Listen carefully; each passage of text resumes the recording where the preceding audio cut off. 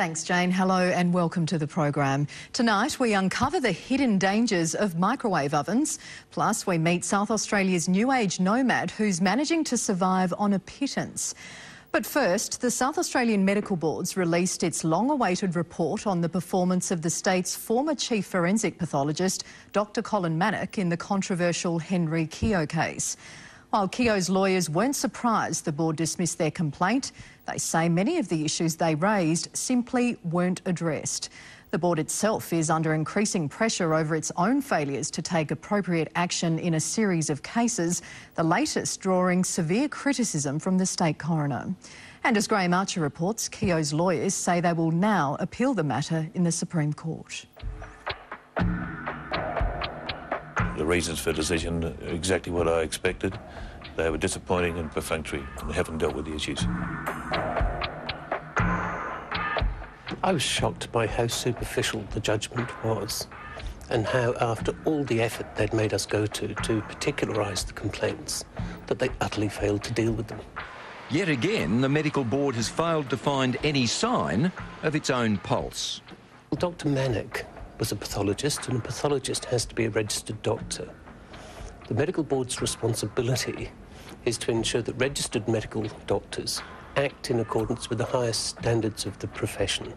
So their job was to make a judgment about whether Dr. Manock had done that, particularly in relation to the Keogh case. Today, after much delay, the board handed down its findings on the professional competence of Dr. Colin Manock, the state's senior forensic pathologist from 1968 to 95, based upon his work in the Henry Keogh case. They have the powers to appoint an investigator to go out and investigate things and look at things and ask questions. They've never appointed an investigator, and no investigation has been done by the medical board at all. Predictably enough, the doctor was given a clean bill of health. It was made easier for the board that Dr. Manock's work was limited to people already dead. One of the more famous pathologists in the country, the head of the Victorian Institute of Forensic Medicine, said that he couldn't think of another pathologist in the whole of Australia that would have conducted themselves as Dr. Manock did. As author and lawyer Bob Moles and this program have revealed, contrary to today's report, there are scores of examples of Dr. Manock's flawed forensics. Back in the 1980s, his finding in the Emily Perry case almost sent an innocent woman to jail for 15 years, and the High Court was scathing. One of the judges in the High Court said that the forensic work that had been done in this case by Dr. Manock represented an appalling departure from acceptable standards. And as I said before, that's, that's no minor criticism, is it? Was there any official follow up to that criticism? No, there wasn't. So, in a sense, sitting in judgment of Dr. Manock, the board was also sitting in judgment of themselves. Oh, absolutely, and we made that clear to them at the outset. Behind each bizarre finding is a human tragedy, the most poignant being the deaths of three babies in the early 90s. All suffered from severe injuries, but according to Dr. Manock, all died from natural causes. A subsequent coronial investigation found his work to be incompetent and his errors scuttled any chance of criminal charges being laid. There's never been any official reaction to this scandal, but it provides a powerful clue to how unsatisfactory the board's report today really is. Was the medical board prepared to hear evidence about those baby death cases? No, it wasn't. And they said at the very outset that it would be quite inappropriate for Henry Keogh to raise what we would call similar fact evidence and that is evidence of previous shortcomings by Dr. Manock in the baby deaths cases and in the many other cases that we've referred to. That's right. After refusing to hear evidence on the baby death blunders, they selectively quote from the case to support their own findings. Trouble is, they chose to quote Dr. Godfrey Oettle, whose opinion on the case was discarded by the coroner. The coroner said that insofar as it bore any resemblance to the evidence that he had heard in those baby deaths, it was simply inapplicable. It was wrong. So effectively, the medical board have used a discredited report which supports incompetent work to justify their decision. Yes, the expert report that had been rejected by the coroner in a matter that we were not allowed to refer to was brought in by the board as the only way of justifying Dr. Manock acting in accordance with proper standards. The board also make the startling judgment that his standard of work should be measured by that of those working with him. Given there was only one other full-time pathologist, it's hardly representative of international standards. The medical board also said that there weren't any proper national or international standards at that time. They may have changed a little bit, um, but we're not talking about the dark ages here. Their approach to the disputed thumb bruise, claimed by Dr Manock to be proof of a hand grip and claimed by the DPP in the case as the one positive indication of murder, is equally bizarre. If the bruise couldn't be seen using a microscope, as Dr Manock admitted, but told no one, that didn't mean that it didn't exist. It simply doesn't make any sense at all. The procedure was that they'd taken, or said they'd taken, some tissue from what looked like a bruise and examined that under the microscope.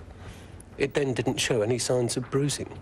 Well, in normal scientific circles, you will say that that had falsified the hypothesis. In other words, the claim that there was a bruise has now been proved to be wrong. What Dr. Manock said was that it simply failed to confirm the existence of the bruise, but nevertheless the bruise existed because he saw it and because he could point to it on a rather grainy black and white photograph.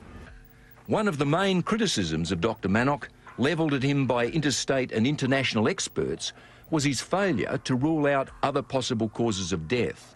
Not a problem, says the medical board. But they said that because Dr. Manock had a practice that wasn't set out in the textbooks, because it was supported by his peers, meaning by the, the other pathologist there who was his subordinate, then that justified his methods. As we've shown, there are many, many fundamental problems with the Keogh prosecution, to the point of there being insufficient water in the bath to make the Dr. Manock murder theory even physically possible. And Dr. Manock admitted as much to the board, a point they seem to have missed. We asked him, Did you check the level of water in the bath at the time? And he said, No, I didn't. And we said, Well, the bath was only one third full, and that can be established from the photograph of the water in the bath. And he said, Oh, well, if I'd known that, I wouldn't have put forward the, the drowning scenario. There are over 40 particulars of a complaint, and hardly any, were, hardly any of them were dealt with in this uh, report. They then said that they would consider um, Dr. Manock's conduct in performing the autopsy, and they said they would consider Dr. Manock's conduct in giving evidence at the murder trial. First, they hardly mentioned, and the second, they did not even mention at all. Henry Keogh's counsel, Kevin Borick QC, says the findings are totally deficient.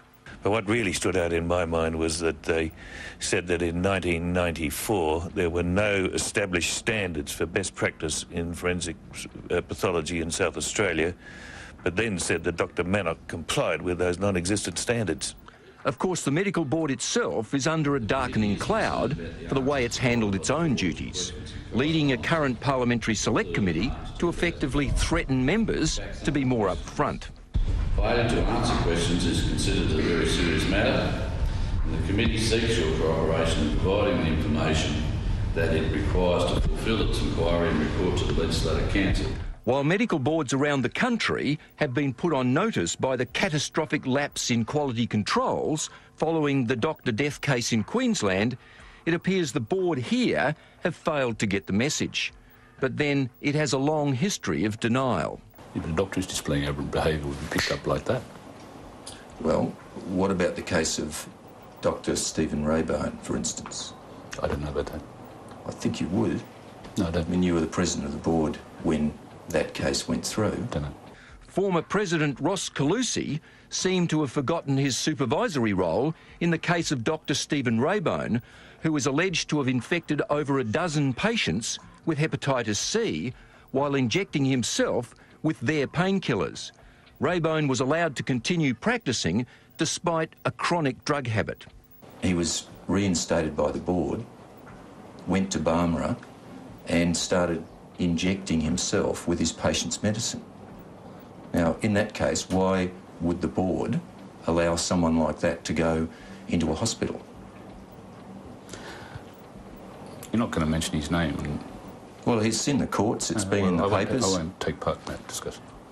And just a few weeks ago, the coroner blasted the board for their inactivity over the Dr. Stephen Marrow case after the death of one of his patients and evidence of his drug abuse. But I say it gets down to how no, no, the no. board performs Stop in the individual cases. Stop them. Or else I can walk out.